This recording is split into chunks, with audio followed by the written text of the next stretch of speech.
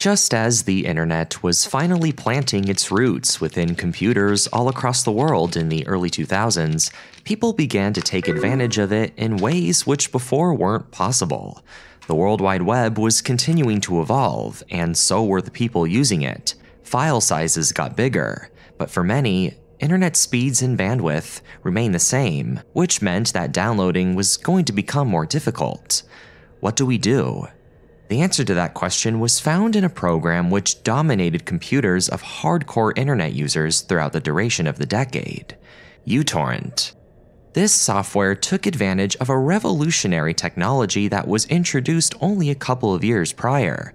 The technology in question is in the name torrenting, and uTorrent was about to become the program that would popularize its use for the masses.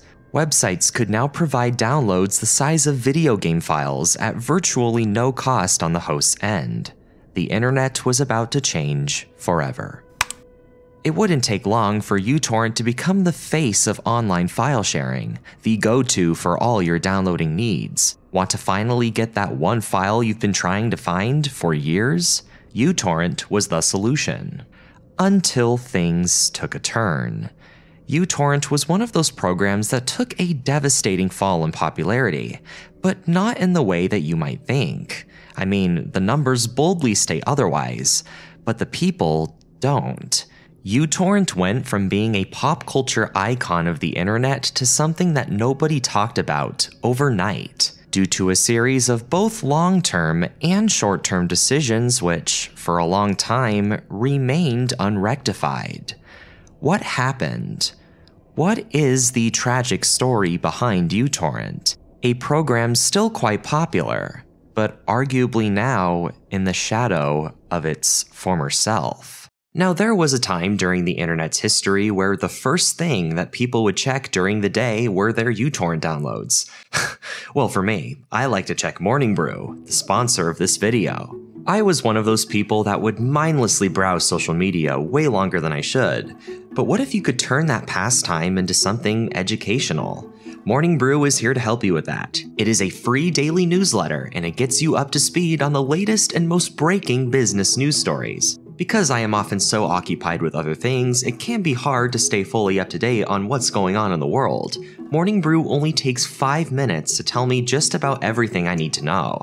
Whereas traditional news can often be boring and lack personality, Morning Brew is witty and makes learning the news fun. Because of Morning Brew, I just learned that there was a federal court case regarding cheese. Is it still technically Gruyere if it doesn't come from Switzerland? Perhaps that's something you can debate in the comments. There really isn't a reason to not subscribe to Morning Brew if you love learning about business, finance, or technology. By clicking the link in the description, you can sign up for Morning Brew right away. Not only is it free, it literally took me less than 15 seconds to sign up.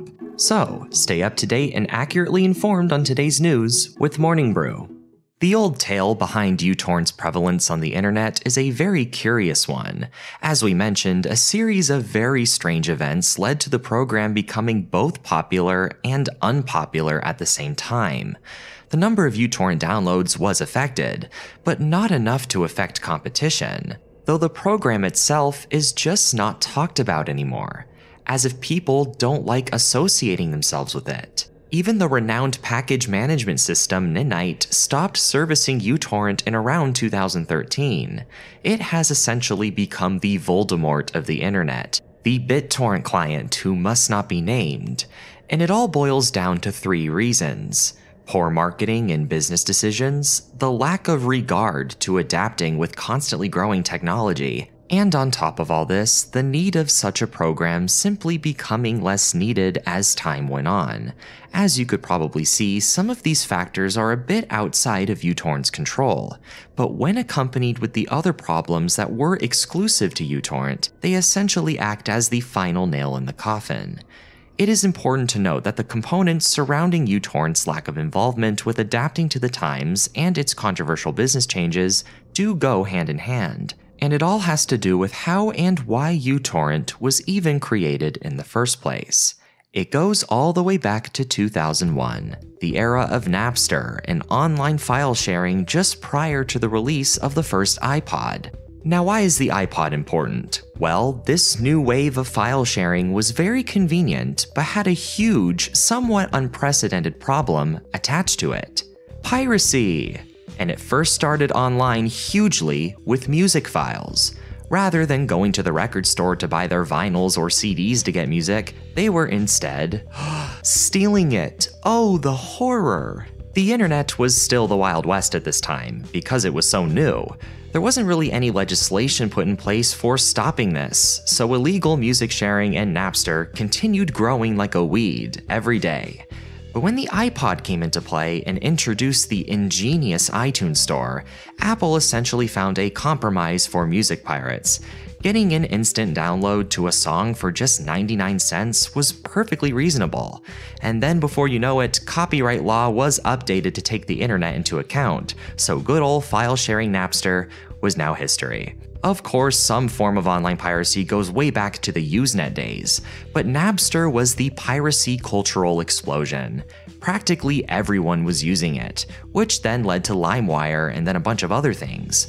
But why would piracy mostly start out with music specifically, over other mediums of entertainment? Well, a big advantage that music had was its small file size. A two minute song was probably only a couple of megabytes, and on AOL dial up technology, a file that size would, worst case scenario, maybe take 10 minutes to download. Standard quality episodes of a TV show or a whole movie, on the other hand, could have been as big as 500 megabytes, which could take up the whole day to download.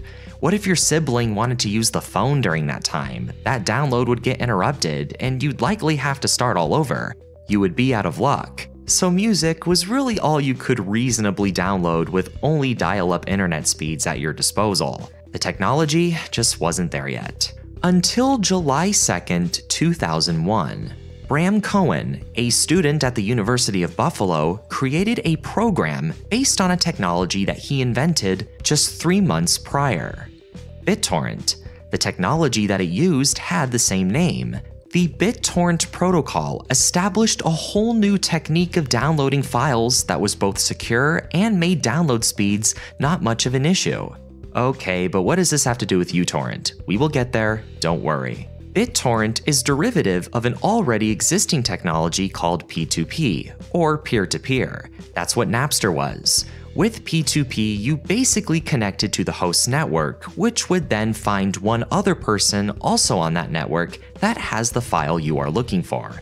It would connect you to that person, share their file with you, and then download it to your computer. But what if the person on the other end just didn't have a very good internet plan, and their upload speeds were slow? What if the government came in and shut down the network altogether, just like they did with Napster? You wouldn't have access to that download anymore. So what do you do? That's when the BitTorrent protocol comes in. To put it in analogous terms, let's say you come across this Andy Warhol style Twiggy painting series, and now you just want it hanging up in your living room. You happen to have a friend who has the exact same art series, and you ask them to make a photocopy of it for you. So your friend takes one photo off the wall, walks to the photocopier, makes a copy, puts it back in his living room, and then does that whole process again with the three other photos. That's the P2P way of doing things. Now, let's say your friend knows four other people who just so happen to have the exact same art series as well, and three of them agree to also photocopy one of their paintings. These are called seeders. The fourth guy doesn't want to partake in that and just wants to keep the artwork on his wall for now. He's called a leecher. So instead of your friend taking 30 minutes to photocopy all the images himself, he and the three other people can divide up the task and photocopy one photo at the exact same time and get it done in 5 minutes. The copies are sent to you and the artwork is now yours. Ta da! That's torrenting. Now, in my example, the artwork goes from being a painted canvas to a paper photocopy, but with actual torrenting, it's an exact duplicate. Torrenting makes a copy of little bits and pieces of a file from multiple users and puts them all together to make the new copy of that file for the downloader. You've probably noticed that the more seeders there are, the faster the download is. This is why. Does one of the seeders have a really slow upload speed? Not a problem. The program will just prioritize one of the faster ones. Since P2P only has one user it relies on, it can't do that. The more people there are, the more likely there will be people with fast upload speeds, which would help increase the speed of your download. So if you wanted to download a 1GB file back in 2001, you could probably do it overnight while you were sleeping. And if someone ever needed to use the phone, it was much easier to just pause and resume a torrent download because of all the seeders. Interruptions weren't a problem.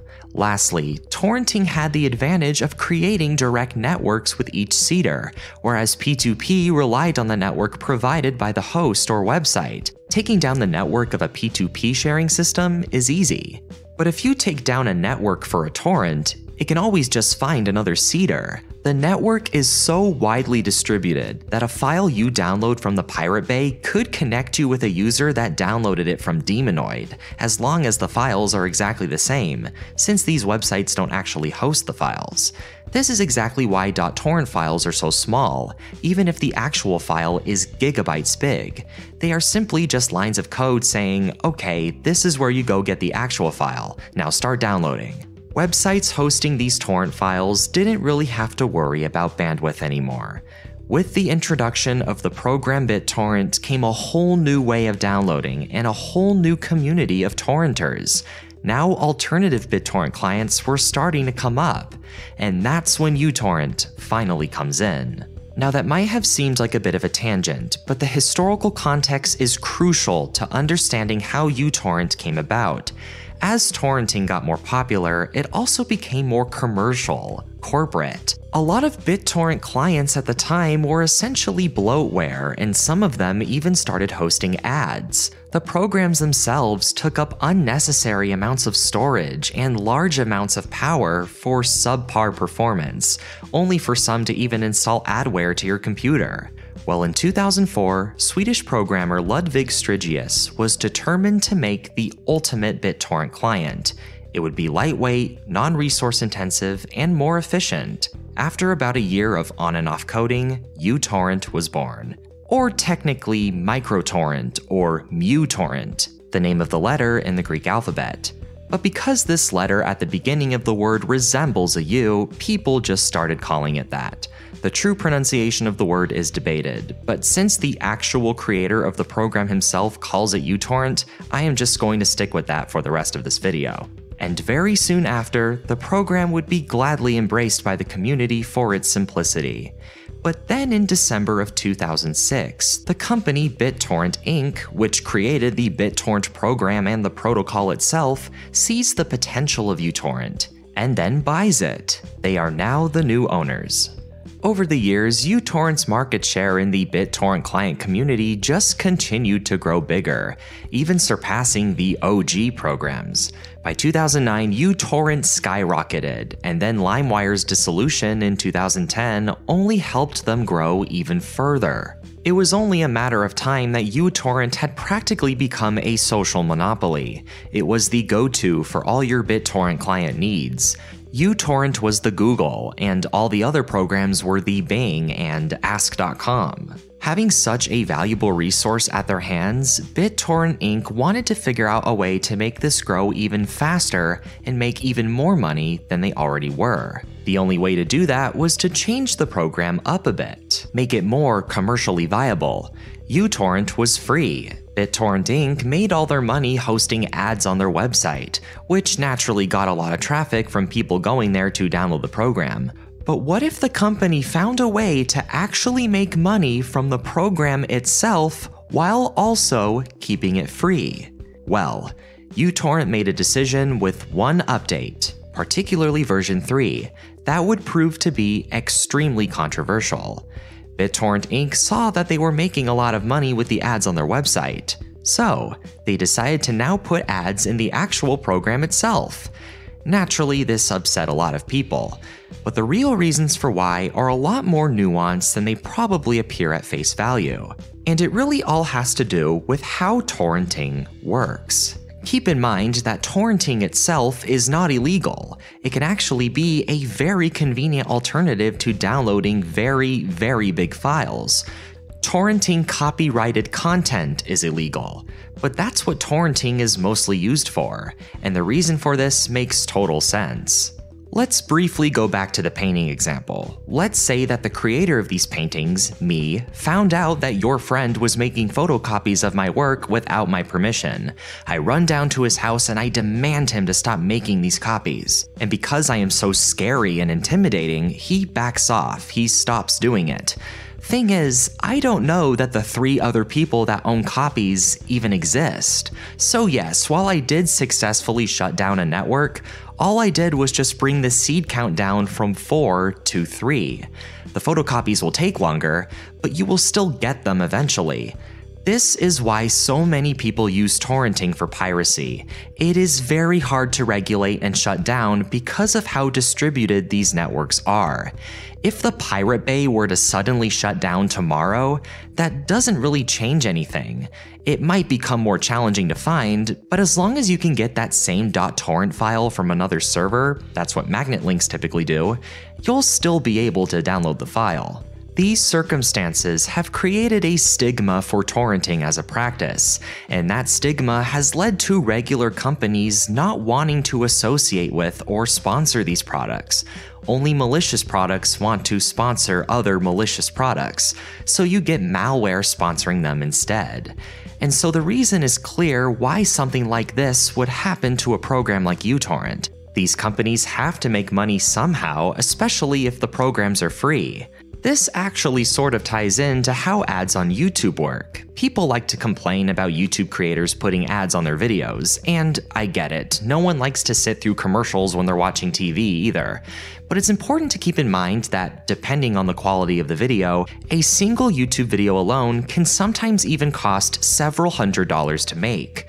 You have equipment, software, media licensing fees, just to name a few. The creator is running a business at the end of the day, and they have to make up for that loss from their production budget. So, how do they do it? Well, through ads, sponsorships, merchandise, a whole array of things. When you are providing content for free, you kind of have to sell your soul a little bit. But it just depends on who you sell your soul to. And that was uTorrent's first problem people weren't as upset about it just having ads. BitTorrent clients already had ads on them. It's that uTorrent ads were basically malware and adware. Not to mention some of them were ooh la la ads, not taking into account that children might be using these programs. It eventually got to the point where uTorrent would surreptitiously download programs to the user's computer without their full consent. Being a torrenting program, uTorrent had an unfair reputation of only being used for pirating, so a lot of the bigger, more mainstream companies that were uninformed about how torrenting worked saw programs like uTorrent as just a can of worms that shouldn't be opened. The malware companies, however, had no problem sponsoring them. Ever notice how when you go on one of those watch free movies websites, you are just bombarded with pop up ads and tons of malicious programs? That's because these companies know that this is their target audience, because these websites aren't exactly legal and are not part of a professional environment. Sort of anything goes. So, malware providers can work more efficiently in that kind of environment.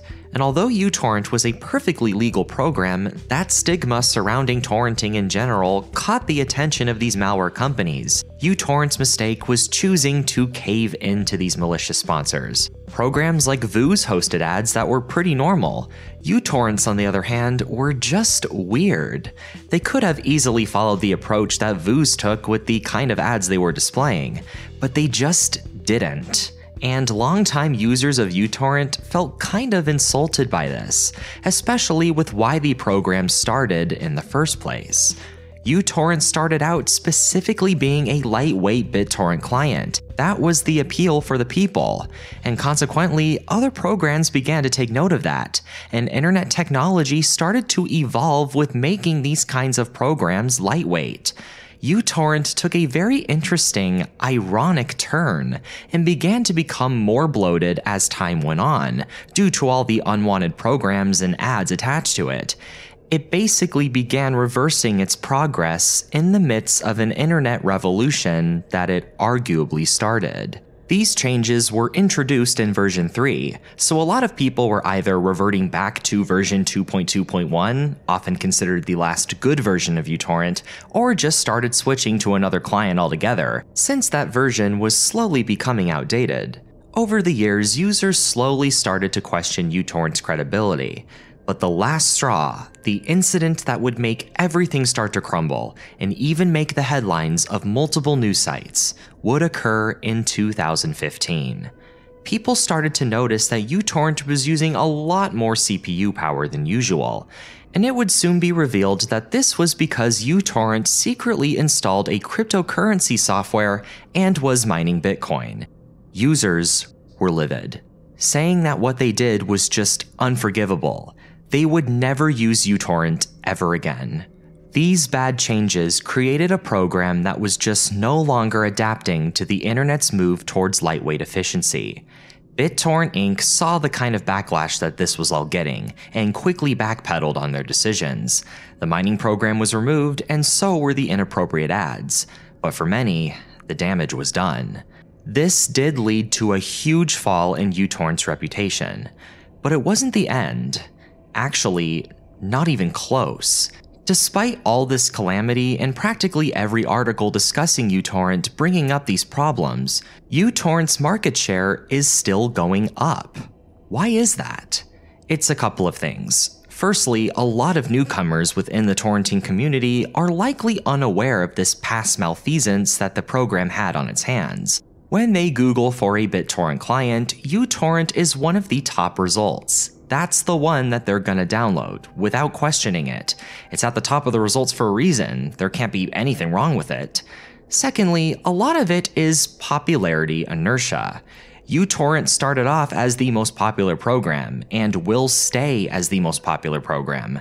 That's why it's still one of the top results when you search for it. People are just used to it. uTorrent is much safer now than it was, but a lot of people will just never forget what happened. And now that the alternatives these people have switched to do the same thing but don't have ads and are open source, they just see no reason to go back. The current uTorrent is mostly people who are new or just weren't that affected by what happened. But had these things never happened, uTorrent's market share could arguably be even bigger than it already is. For many, uTorrent became the very program that it swore to destroy back in 2005, and to them, that was just unforgivable. The last thing to really bring down uTorrent's appeal to online users is something that actually affected everyone. Online piracy is at a decline. In 2006, BitTorrent file sharing accounted for 70% of all internet traffic. By 2011, that number dropped to 19%. And this is because of the rise of streaming services. These companies parallel what iTunes did in 2001. They made a commercial compromise with online pirates. People could live with spending 99 cents on a song, and now you can get access to pretty much every movie and TV show you've ever watched for what, $10 a month? Same goes for music programs like Spotify or gaming services like Steam, or making once super expensive programs now subscription based.